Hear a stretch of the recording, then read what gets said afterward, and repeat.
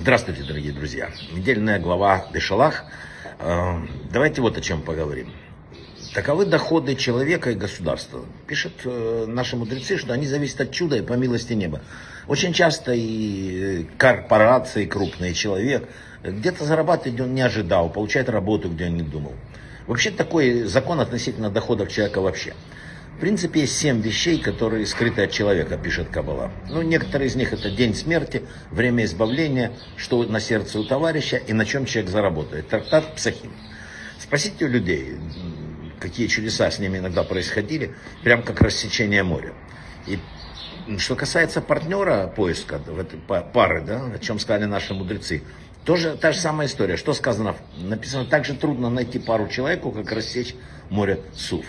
Иногда один э, от другого так далек по своим качествам, уровню, природе, там, привычкам. И никому в голову не приходит, что это может быть пара. И вот, пожалуйста, брак с небес. Вернемся к заработку. Э, на одной и той же профессии могут быть э, два магазина расположены рядом, но в одном берут, покупают, а в другом зевают от скуки. Никто не видел. Я видел такое, два ресторана стоят абсолютно одинаковые. Один забитый, второй пустой. Браха. А, у каждого своя дорога была в море Сув. И точно так же не может человек прикоснуться к тому, что приготовлено для его товарища. Мы этого не видим, но так оно и есть. Один еврей пришел к святому Гаону, автору книги Еврей Хаим, и говорит, что открыл рядом человек магазин, и у меня уменьшаются доходы. И Раби его спрашивает, ездил ты когда-нибудь в повозке? Тот говорит, конечно, Раби, много раз. Видел ли, как лошадь к водопою ходит? Он говорит, да, Раби, сам водил. Обратил ли ты внимание, что перед тем, как пить воду, лошадь топчет передними ногами воду? Удивился человек, говорит, да верно, обращал внимание, но не знаю, в чем смысл. Сказал ему Раби очень все просто. Когда лошадь опускает голову, она в воде, да, чтобы попить воды, она видит там свое отражение. Думает, что это лошадь соперница, которая хочет отнять у нее воду из реки.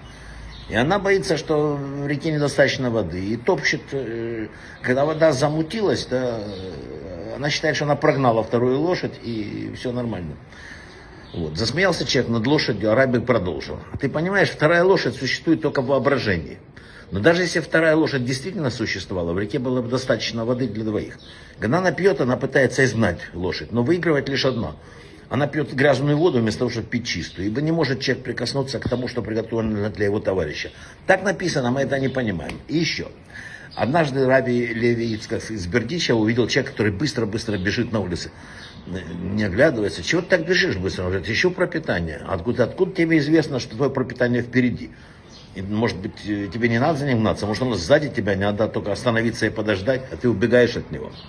Что касается кабалы, там интересные выводы. Верно, у копейки нет особенной стоимости. Но если украсть копейку, из этого происходит ангел разрушения, способный своими силами снести цел стены огромного города.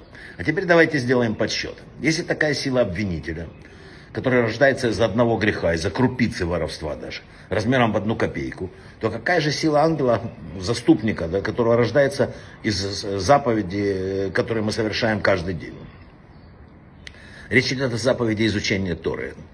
Если ты хоть, вот мы сегодня, например, учим с вами урок, и уже это заповедь, да? Согласно подсчетам Хафицхайма, который утверждал, что за минуту можно прочесть 200 слов или услышать урок, да? Получается, что за учебу в течение получаса рождается армия из 12 тысяч таких ангелов. Вот такую вот охрану мы можем себе сами создать. Нам никто не нужен. Вот это наша армия. Короче, нужна вера. Вот то, что самое главное, что мы должны выучить с этой недельной главы, как в общем со всей Торы, человек с верой живет совсем иначе. Благодаря вере мы знаем, что Бог, хотя кажется отсутствующим, на самом деле присутствует все время. Все время. Несмотря на то, что Он далеко, Он всегда здесь рядом.